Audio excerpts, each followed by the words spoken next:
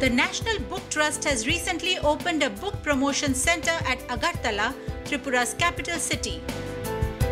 Aimed at promotion of reading culture, especially among the youth, NBT has been promoting many book fairs all over the country. Its centers at Delhi and several other places all over the country includes books written by prominent writers in English, Hindi and many vernacular languages. The new Agartala Center was inaugurated by Chief Minister Shri Manik Sarkar, who went on to urge the youth of the state to read books, saying that books were the best ever friends. The new Book Promotion Center received many visitors on the inauguration day as well as on subsequent days. Readers praised the quality of books on display and sale. এই গ্রন্থাগারে যে পাবলিকেশনের বইগুলা আমি অন্যান্য বাচ্চাদেরকেও এই মেলাতে ডাকতে চাইব এখানের বইগুলো অনেক স্ট্যান্ডার্ড আছে পড়লে অনেক ভালো লাগবে NBT has had many brand ambassadors like Nasiruddin Shah to promote book reading.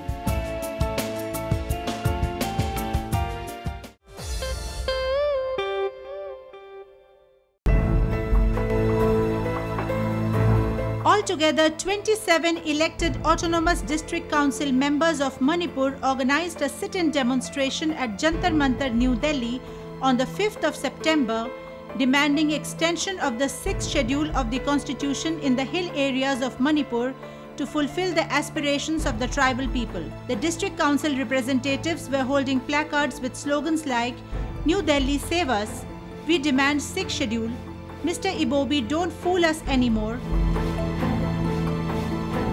respect tribals of Manipur, etc. Many students from Manipur studying in Delhi also joined the demonstration. The delegation met the President of India, the Home Minister, besides other dignitaries, and have submitted a memorandum to the Prime Minister's office detailing their demands. At present, Manipur has six autonomous district councils under the seventh schedule.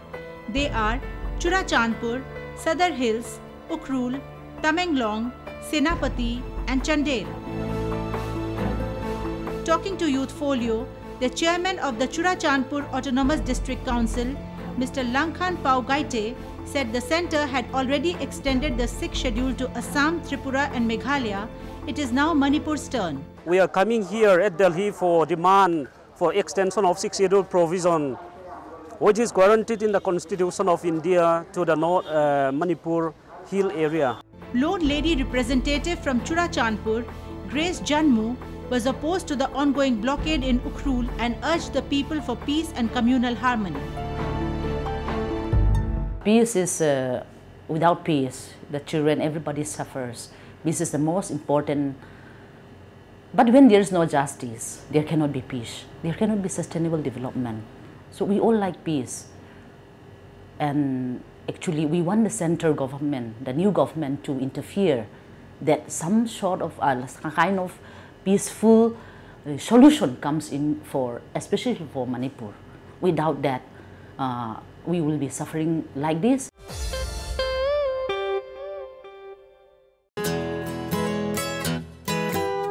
A four day long Mizoram Women Farmers Spices Festival was held between the 5th to the 8th of September at Dilli Haat, New Delhi. Women farmers of Mizoram participated with their ginger, turmeric, and bird eye chilies in the festival, which was sponsored by the Spices Board of India and National Horticulture Board.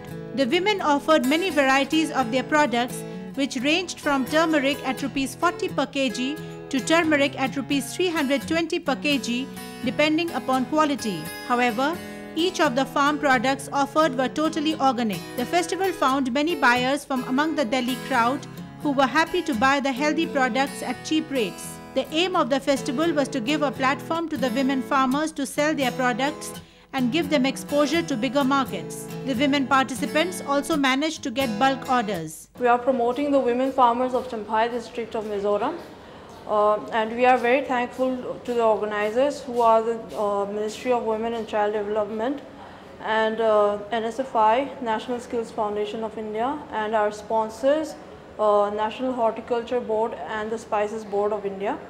Uh, we are really thankful for giving us this platform to promote our women farmers whose producers doesn't have a very uh, vast exposure and uh, through this ex exhibition we are going to have uh, more buyers uh,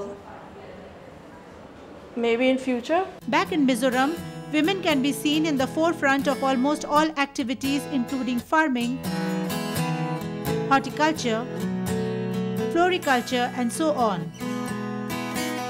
They can be seen in fruit processing and even in selling fruits and vegetables in the marketplaces. In fact, as one goes around the Bada Bazaar in Aizawl, one would see that most of the stalls on the roads and even shops have women as sellers.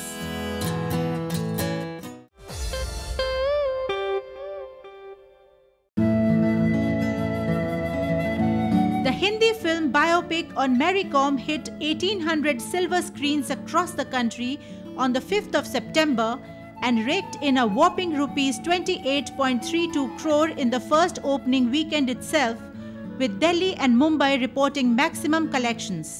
Movie बहुत अच्छी लगी। एक biopic थी।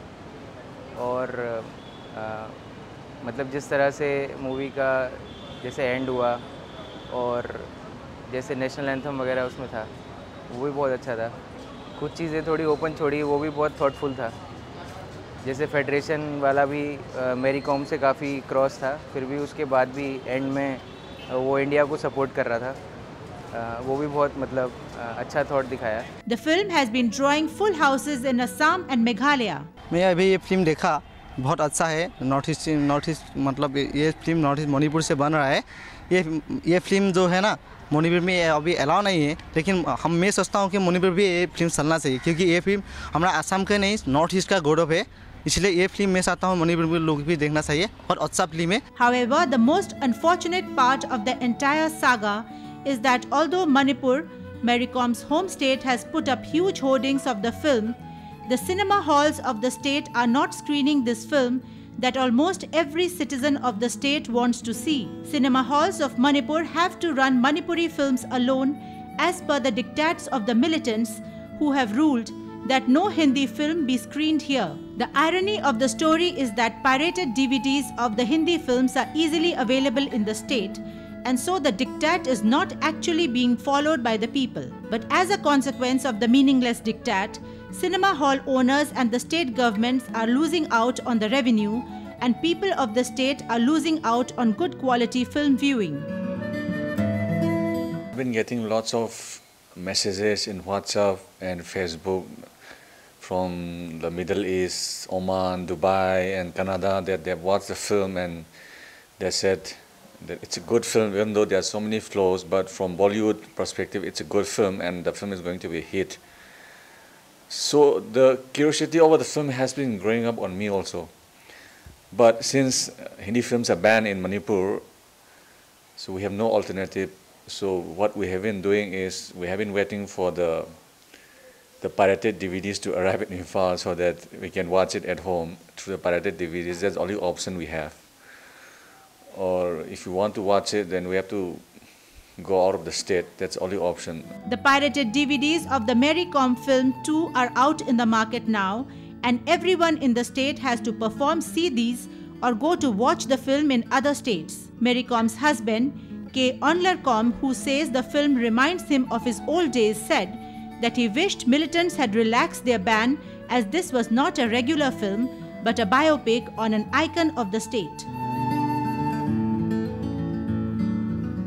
I've been watching uh, the movie uh, for two times, and actually it remind it reminds me the past life, and it very it, it really touches us, and I hope the movie will inspire the young generations of uh, Manipur as well uh, for our country and I can say that it will be a motivating movie for all over the world and it will bring uh, positive response to the viewers and audience.